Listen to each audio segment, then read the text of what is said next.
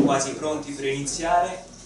Innanzitutto grazie di essere qui, siete benvenuti.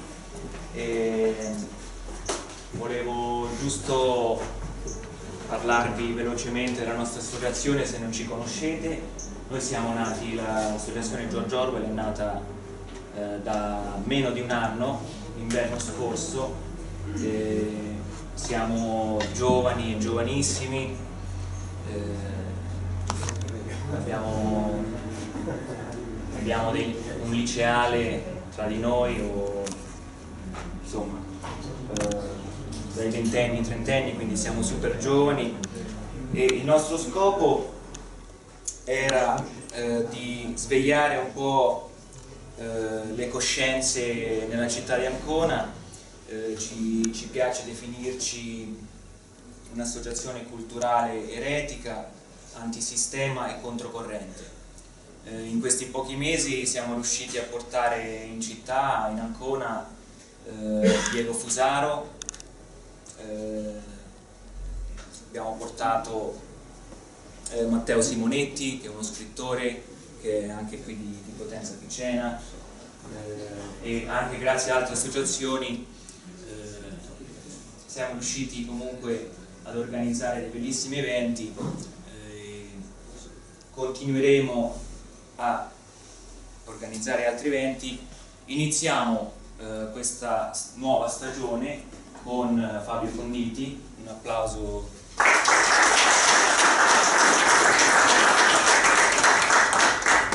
E abbiamo deciso di parlare eh, di un tema che penso che sia il tema dei temi, eh, la moneta, soprattutto cosa vuol dire eh, avere la sovranità monetaria. Penso che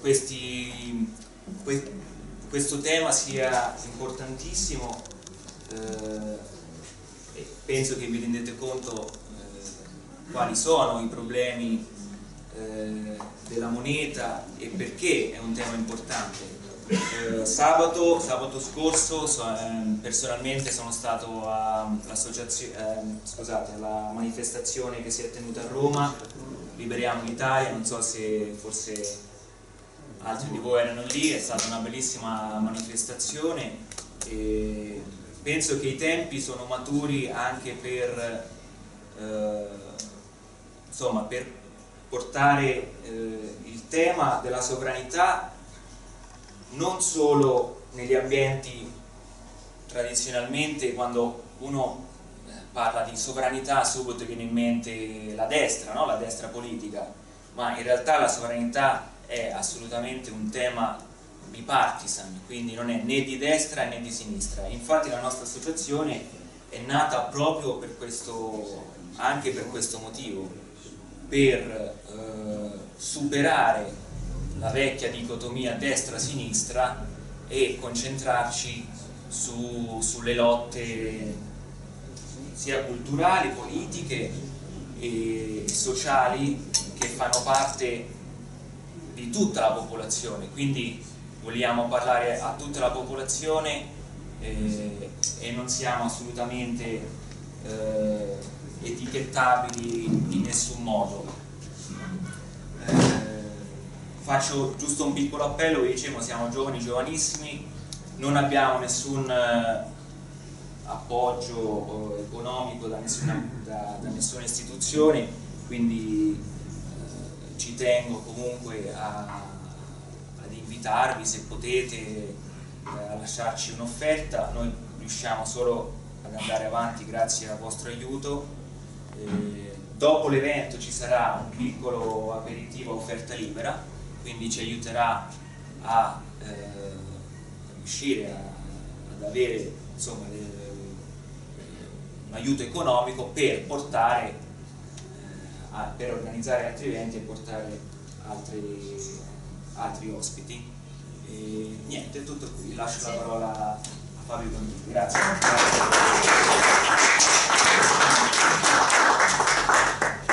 Si può spegnere la luce? Grazie. Allora, io intanto mi presento, sono Fabio Conditi, eh, sono il presidente di un'associazione che si chiama Moneta Positiva, eh, anche noi diciamo, siamo senza scopo di lucro e cerchiamo di diffondere nella popolazione l'idea che diciamo, i problemi che abbiamo di carattere economico possono essere analizzati e risolti in maniera diversa e anticonvenzionale rispetto a quella che viene fatto nell'attuale discussione politica e economica. Oggettivamente il problema monetario, il problema economico è quello più importante di tutti, è quello che, da cui dipende la vita di tutti quanti noi ma se ci pensate bene è l'oggetto che viene meno trattato nelle discussioni politiche, cioè la moneta è la cosa più eh, ignota nelle discussioni politiche, è quello che manca, è quello per intendersi che in questo momento l'attuale governo sta cercando di raschiare il fondo del barile alla ricerca degli euro rimasti nei meandri eh, dei vari bilanci, che sta cercando di aumentare le tasse perché che, che ce ne dicano le tasse aumenteranno perché per trovare i soldi nella idea attuale l'unica modalità è aumentare le tasse, non ci sono altre strade.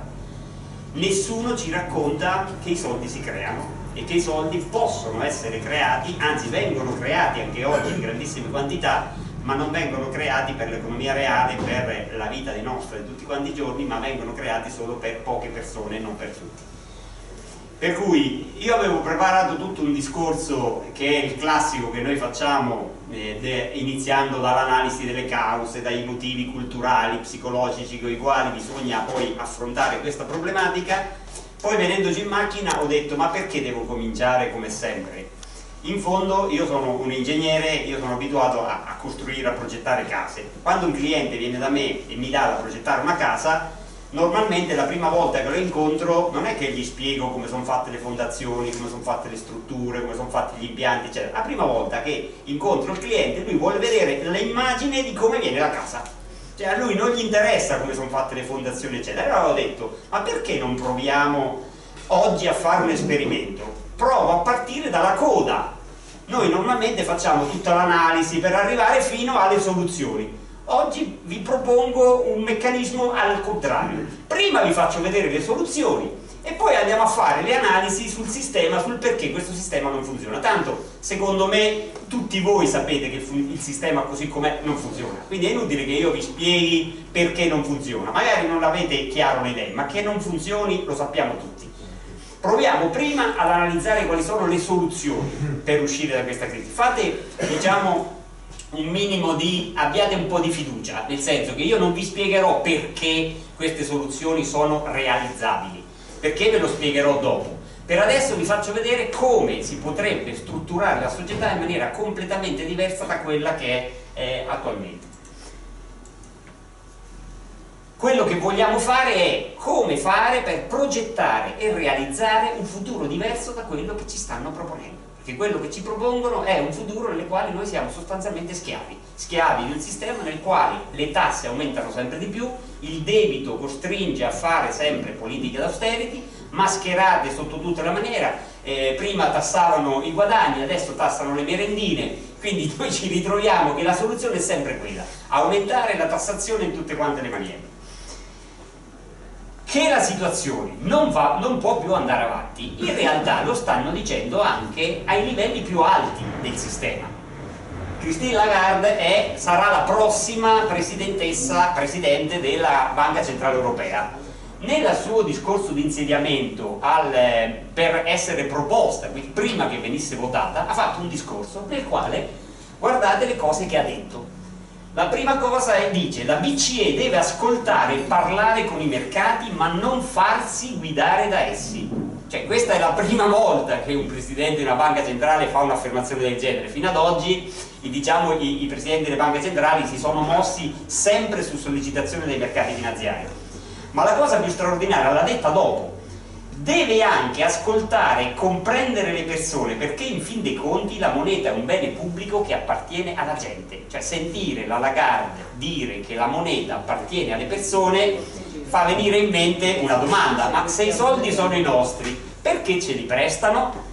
che eh, sarebbe una domanda lecita. Per quale motivo se sono i nostri noi finiamo per dover pagare degli interessi su tutta la moneta che usiamo? Ma la cosa più straordinaria è che anche Mario Draghi vuoi perché probabilmente è a fine incarico e sta cercando di diciamo, collocarsi per futuri e nuovi incarichi, ha, dato, ha fatto delle affermazioni rivoluzionarie per la prima volta. Fino ad oggi, secondo Mario Draghi, le politiche monetarie della Banca Centrale Europea avrebbero risolto qualunque problema. Fino a qualche anno fa lui diceva che fa faremo qualsiasi cosa che sia necessario per risolvere i problemi dell'economia. Oggi dichiara invece la, la politica monetaria da sola è insufficiente a far ripartire inflazione e crescita dell'Eurozona. Questa è una missione di impotenza, cioè tutto quello che è stato fatto fino ad oggi non è bastato. Noi abbiamo fatto il nostro, ora tocca ai governi. La politica fiscale deve diventare lo strumento principale per aumentare la domanda interna.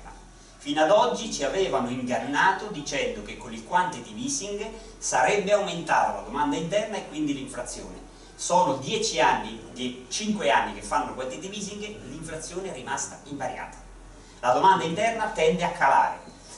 E quindi il fatto che lui ammetta questo errore e ammetta che devono essere gli stati a dover fare politiche fiscali è un evento straordinario. Ma la cosa ancora più straordinaria è che a un certo punto un giornalista gli chiede perché non, fa, non pensate di fare l'helicopter money? L'helicopter money è una corrente di pensiero che ipotizza che la banca centrale crei il denaro e lo distribuisca direttamente ai cittadini.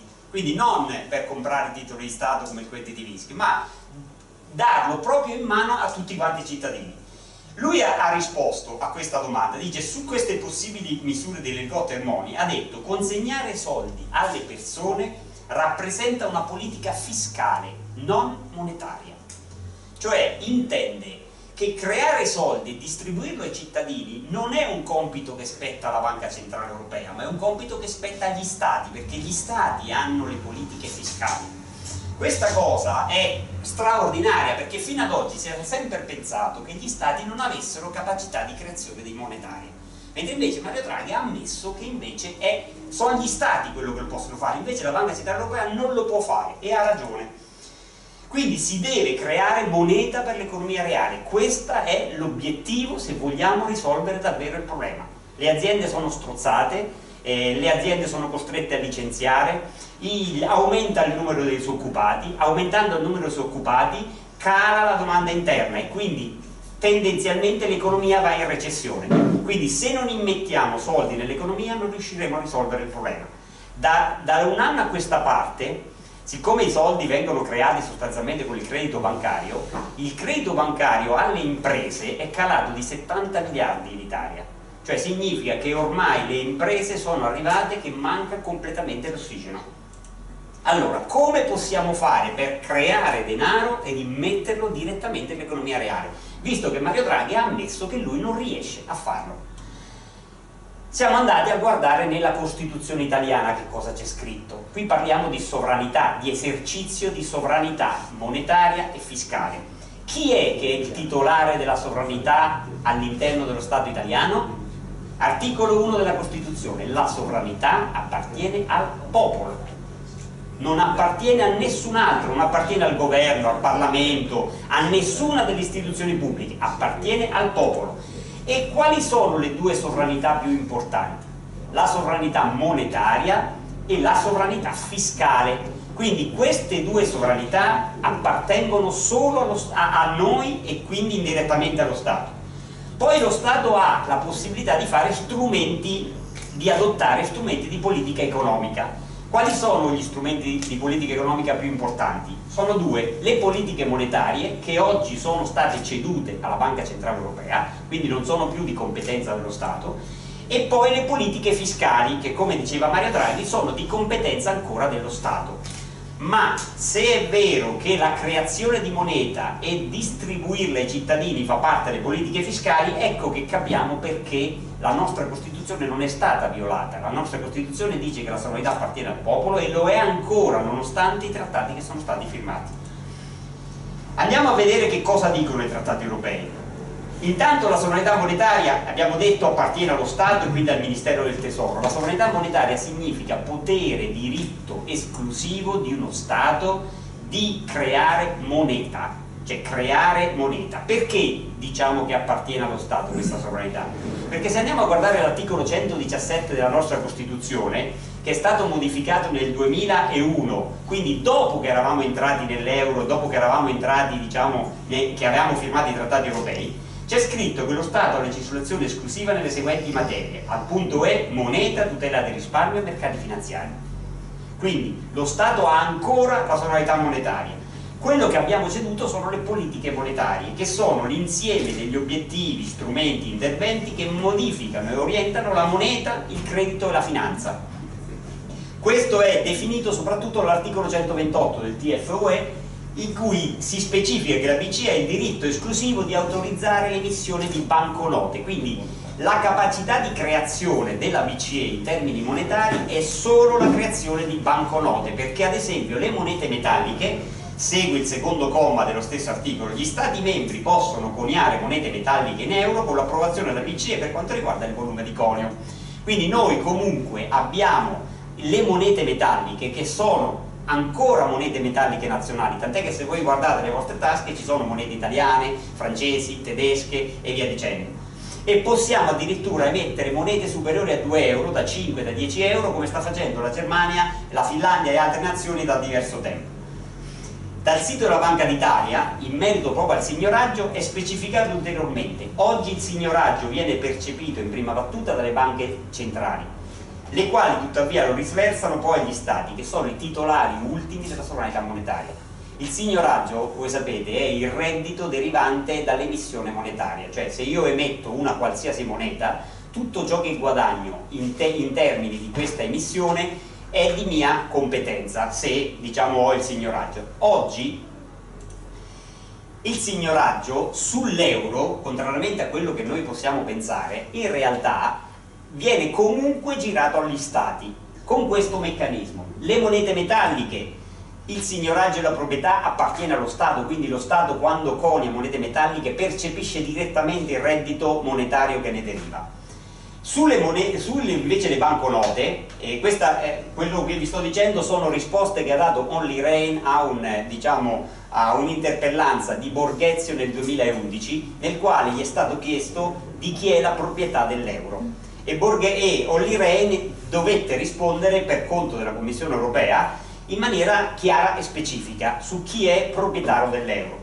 E lui ha detto che le monete metalliche sono di proprietà degli stati, che percepiscono anche il signoraggio mentre invece le banconote eh, sono di proprietà della Banca Centrale Europea, la quale percepisce il signoraggio e come dice Banca d'Italia il signoraggio poi viene girato alle banche centrali nazionali e dalle banche centrali nazionali viene girato allo Stato. Quindi anche sulle eh, banconote il signoraggio comunque viene girato agli Stati perché gli Stati sono gli unici che hanno la sovranità monetaria. Quello che sfugge al nostro, diciamo, a, agli stati è la moneta bancaria, perché la moneta bancaria è una moneta elettronica molto particolare che viene emessa dalle banche private quando ci concedono prestiti, perché contrariamente a quello che dicono i libri, quando una banca concede un prestito non è che quei soldi li prende da qualche altra parte, non li prende dai depositi dei clienti, non li prende sottoterra, li crea letteralmente dal nulla e ce li presta. Poi noi siamo obbligati a restituirli, però quel denaro viene creato letteralmente dal nulla. Ora, il signoraggio su questa creazione monetaria, che è poi l'interesse che noi paghiamo, in realtà viene comunque pagato alle banche private e non viene girato agli stati per un giochino per il quale si nasconde il fatto che le banche private creino il denaro eh, nell'accezione generale il denaro viene creato solo dalle banche centrali e dagli stati, ma nessuno, oramai è chiaro e lampante perché lo hanno detto anche diversi studi di, di anche diverse banche centrali, che sono le banche private quelle che creano la maggior parte del denaro e non certamente gli stati. Quindi se la sovranità monetaria e fiscale appartiene agli stati, la domanda che noi ci siamo posti, alle quali abbiamo cercato di rispondere è che cosa può fare lo Stato per creare denaro e immetterlo direttamente nell'economia. Allora, abbiamo visto che lo Stato non può fare banconote, perché le banconote per l'articolo 128 del TFUE spettano alla Banca Centrale Europea. Lo Stato però può coniare monete metalliche e abbiamo detto anche monete metalliche superiori a, a 2 euro, tant'è che l'anno scorso è stata emessa una moneta con la scritta Repubblica Italiana da 5 euro, una moneta cosiddetta da collezione che commemorava la cattedrale di Amatrice che purtroppo è stata distrutta dal terremoto e, e, questa moneta è una moneta di proprietà dello Stato italiano e quando lo Stato conia una moneta del genere il reddito che ne deriva è di sua pertinenza. Poi eh, lo Stato potrebbe fare biglietti di Stato se vi ricordate quando c'era la lira, lo Stato emetteva le 500 lire con la scritta Repubblica Italiana che erano una moneta effettivamente emessa dal Ministero del Tesoro e quindi non una moneta emessa dalla Banca, dalla Banca d'Italia ma soprattutto lo Stato potrebbe, se avesse delle banche pubbliche, emettere una moneta elettronica bancaria come fanno le, le banche private. In particolar modo il sistema oggi funziona in questa maniera. La Banca Centrale Europea emette le banconote che vengono prestate alle banche private, le quali poi creano l'ulteriore moneta elettronica bancaria, quella che, che, diciamo, che viene utilizzata quando ci vengono concessi dei prestiti, e forniscono quindi la moneta al sistema economico dove ci sono cittadini, aziende e anche lo Stato, perché anche lo Stato poi la moneta la prende in prestito dai mercati finanziari. Ora, se noi in un sistema come questo eh, le, lo Stato paga interessi sul debito pubblico che sono circa 70 miliardi di euro all'anno. Invece noi cittadini abbiamo un debito privato molto più grande rispetto a quello pubblico e paghiamo circa sui 130 miliardi di interessi all'anno. Quindi noi ogni anno paghiamo qualcosa come 200 miliardi di interessi all'anno sul debito pubblico e sul debito privato. Se lo Stato utilizzasse un sistema di banche pubbliche, come ad esempio c'ha la Germania, noi avremmo che il 50% di tutta la moneta che viene creata dal sistema bancario verrebbe creata dal sistema bancario pubblico e quindi gli interessi che noi paghiamo a questo sistema verrebbero percepiti dallo Stato direttamente. Quindi se in questa maniera noi avremmo la possibilità di risparmiare una fetta consistente degli interessi che paghiamo tutti eh, gli anni oltre al fatto che sarebbe possibile destinare questa moneta all'economia reale direttamente.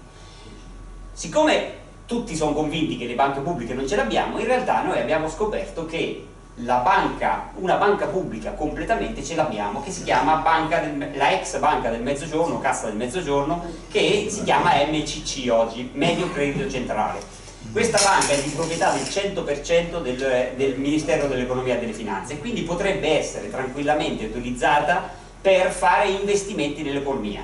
Pensate che sono ormai due governi, sia quello scorso eh, Movimento 5 Stelle Lega che quello attuale Movimento 5 Stelle PD, che nel loro, nel loro programma mettono una banca pubblica per gli investimenti eppure la banca pubblica ce l'abbiamo già quindi non, non, ci sarebbe neanche bisogno di metterla nel programma perché basterebbe utilizzare quella che c'è Abbiamo anche l'84% della cassa deposito e prestiti, che quindi potrebbe anche questa essere convertita a una banca di questo genere, e abbiamo anche il 68% del Monte dei Paschi di Siena. Quindi in realtà non sarebbe molto difficile creare un sistema di banche pubbliche come ha la Germania per cercare di fare investimenti nell'economia reale. Eppure questa cosa sembra difficilissima da poter fare. L'ultima possibilità che lo Stato ha di creare denaro, di metterlo direttamente nell'economia e è per noi la, diciamo, la nostra proposta più interessante, è quella di creare uno strumento fiscale che sia utilizzabile per gli scambi. Come funzionerebbe? Noi l'abbiamo chiamato SIRE e è per noi l'uovo di Colombo, cioè mette d'accordo le esigenze dell'Italia che possono essere l'abbassamento delle tasse, l'occupazione, lo sviluppo economico, il reddito di cittadinanza, qualunque manovra espansiva che si possa fare nell'economia, con i vincoli di bilancio della, della Unione Europea. Come fa a mettere d'accordo queste due cose? È semplice. Siccome lo Stato ha la sovranità fiscale, ha la capacità e il potere di imporre tasse e anche concedere detrazioni e crediti d'imposte Qualcuno di voi ha mai usato le agevolazioni fiscali per le restituzioni edilizie? Oppure per l'acquisto di mobili, per l'acquisto di elettrodomestici, eccetera? Ora, come funzionano queste agevolazioni? Che normalmente ti vengono concesse, ma tu devi aspettare gli anni successivi per poterle detrarre dalle tasse e quindi fondamentalmente rimangono congelate in un cassetto, non possono essere utilizzate per scambiarlo con le persone. Se invece lo Stato dicesse queste agevolazioni che io concedo ai cittadini te le metto su un conto corrente fiscale e ti do la possibilità di scambiarlo con altre persone. siccome sono effettivamente crediti che io posso utilizzare per pagare le tasse, sarebbero accettati da tutti in cambio de, de, al posto degli euro e quindi potrebbero effettivamente dare un impulso all'economia notevole. Considerate che oggi le agevolazioni fiscali ammontano a circa 10 miliardi all'anno, ma sono fermi lì, non possono essere utilizzati. Se questi 10 miliardi circolassero perché le persone eh, hanno la possibilità di poterseli scambiare, potrebbero generare un aumento della domanda interna e comunque un aumento, un aumento del PIL pensate a quante ce ne sono, ci sono per le ristrutturazioni edilizie, insomma sono parecchie tipologie. Queste eh, riduzioni potrebbero essere dichiarate trasferibili e eh, utilizzabili con una data di validità ad esempio di due anni invece che darlo frazionato eh, in cinque anni, in dieci anni eccetera uno dice per i primi due anni non le puoi utilizzare ma alla fine dei due anni le puoi utilizzare per detrarre le tasse però fin da subito le puoi utilizzare per scambiarle tra le persone. In pratica, quando lo Stato concede questa agevolazione, il cittadino che la riceve non può detrarla subito dalle tasse, ma può trasferirla come mezzo di scambio, come strumento di pagamento a qualcun altro. Tra l'altro caricata su una carta di credito diventa anche piuttosto semplice perché basta passarla sul posto, quindi è, è abbastanza semplice.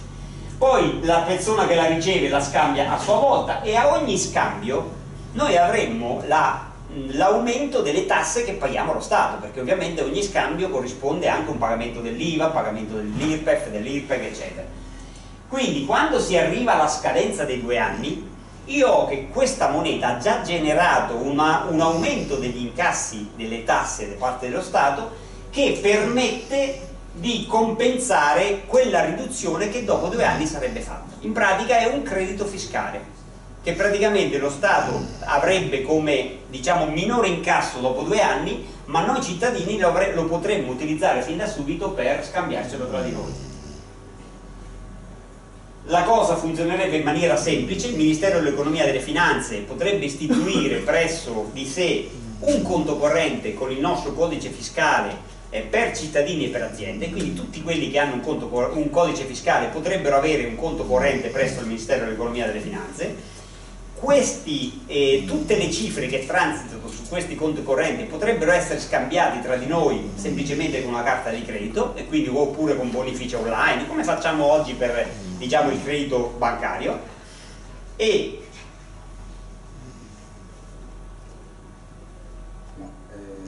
è stretto, allora, no, non succede niente. E quindi questa, questa moneta aggiuntiva chiamiamola moneta fiscale, strumento fiscale sarebbe ad accettazione volontaria, quindi non è obbligatorio, ma considerate che anche la moneta elettronica bancaria, quella che noi usiamo tutti i giorni, che pensiamo che sia ad accettazione obbligatoria, in realtà è accettazione volontaria anche quella, cioè non è, è, è l'unica moneta a corso legale, sono le banconote e le monete metalliche, tutto il resto è moneta ad accettazione volontaria. Quindi questo si inserirebbe all'interno delle monete ad accettazione volontaria noi l'abbiamo anche disegnata come carta di credito, eh, sarebbe una carta di credito che potrebbe avere anche un doppio uso, quello come conto corrente fiscale ma anche come conto corrente bancario pubblico e quindi attraverso il medio credito centrale la stessa carta potrebbe gestire sia il conto corrente nella banca pubblica che il conto corrente nel, diciamo, presso il MEF. E in questa maniera io posso decidere se pagare con il SIRE o se pagare in euro e quindi avrei la doppia possibilità di poterla utilizzare indifferentemente. Come funzionerebbe? Funzionerebbe che da una parte noi abbiamo le monete a corso legale, che oramai sono solo monete metalliche e banconote, che sono circa il 7% di tutta la moneta che usiamo.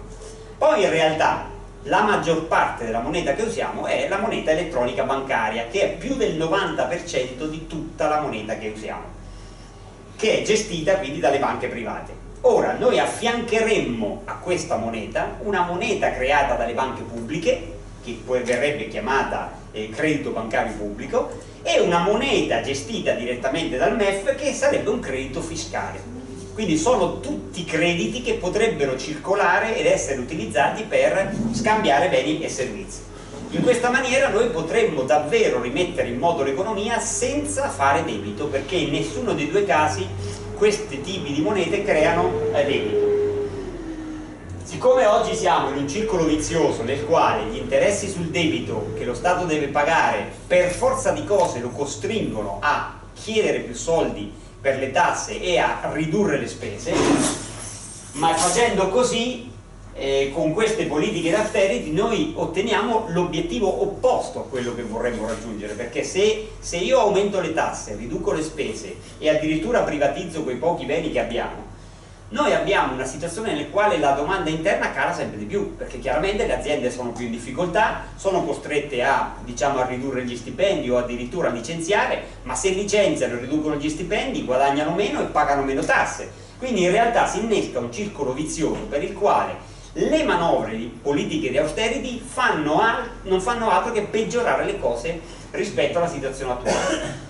Quello che dobbiamo innescare e quello che vogliamo innescare con quelle soluzioni che vedevamo prima è un circolo virtuoso nel quale creando uno strumento monetario che non genera debito, che quindi non, non è diciamo a rischio, no, cioè non crea problemi nei bilanci dello Stato e nei parametri eh, europei perché non genera debito, è un debito futuro, non è un debito attuale. Io metto in circolazione una moneta e creo maggiori investimenti produttivi e maggiore occupazione.